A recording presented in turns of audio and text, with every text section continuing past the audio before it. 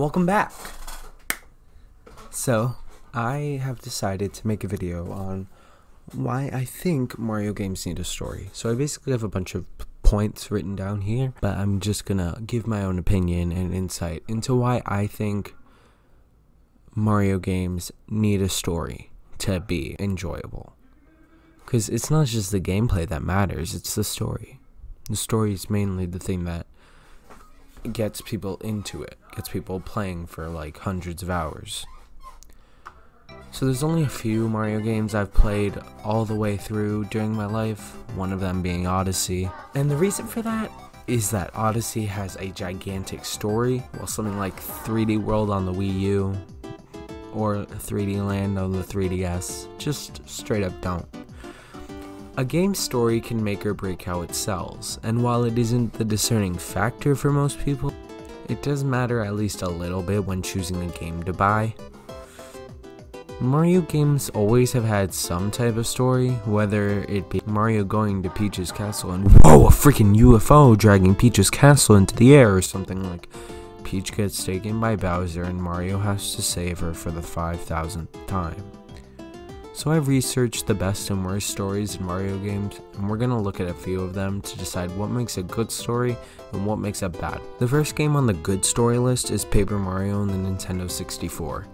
Many find this game to be the best in the Paper Mario franchise as the series lacks a main story and good elements in recent versions of the game. It's weird because this game starts with the all too common Bowser takes Peach scenario. But the story evolves through the game, and you are given partners to help you traverse through the different parts of the game, and it's just a great story overall. You are also visited by star spirits. During the game, you release these star spirits from imprisonment by Bowser, as well as trying to get to Bowser to retrieve the star rod to avoid Bowser making himself invincible. It's easy to see how many people look up to this game for a storyline, as there is a great amount of story and dialogue in this game. Looking on the worst side, we have New Super Mario Bros. 2 for the 3DS. What makes this game so bad in people's eyes is the story, as it doesn't really have one. This game also has the way too common Bowser takes Peach and Mario has to save her kind of story, but unlike Paper Mario, there's not much else to it. This game has cool levels, but they can be defeated in a short amount of time, so it doesn't make sense to really care about this game at all. The first one was seen as a success because it was a 2D Mario on a handheld system. Many saw this as awesome, since the series hadn't had a 2D game in a long while. This game wasn't received the same way because people expected more. Many saw this game as just a souped up version of the original with new, one new power up, and that's just a not good image to have if you're trying to be a full blown sequel.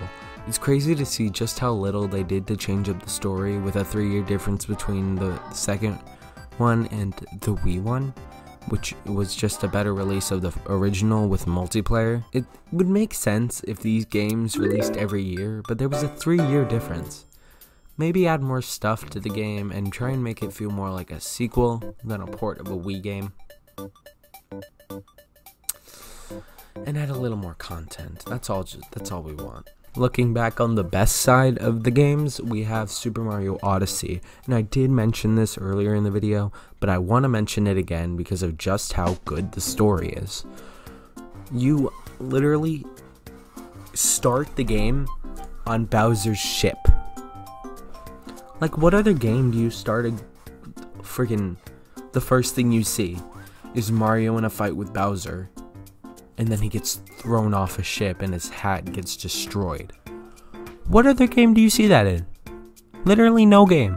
Then you go through all these worlds, finding all these coins, these moons, and you use Cappy to get onto different objects, which helps you swim underwater or hide as other Goombas or stuff like that.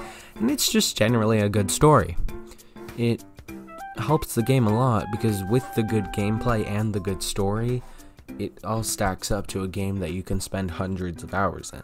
Looking back on the worst side of the spectrum, we have the original Mario Brothers.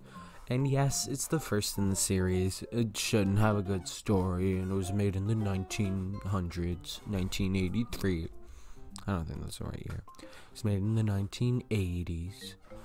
Yeah, still, it's not that good of a story. Literally, all you do is you go through different worlds. You you defeat Bowser every time. Um, you literally the end of the game. You uh, save Peach. Yep, that's all you do. I get it. Yeah, it's the first Mario game. They can't do much to change to make a story. It's on the original NES. It was underpowered. It was a, it was just bad game. No, I'm kidding. The game was good. I beat it on the 3DS. That's not something I want to admit because that I have a NES Classic. I don't want I don't know why I played it on the 3DS. But who knows? Maybe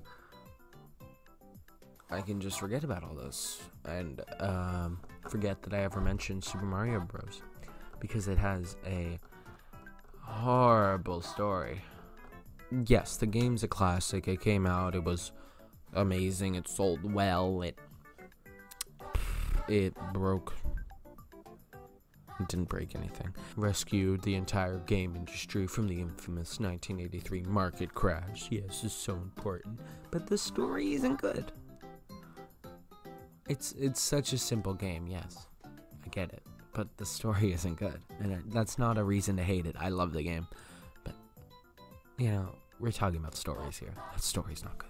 Looking back on the good side of the spectrum, once again, we have Super Mario Galaxy, now, Super Mario Galaxy is a beloved game, it's a classic, everybody knows it, but it's just Nintendo did such a good job on the story.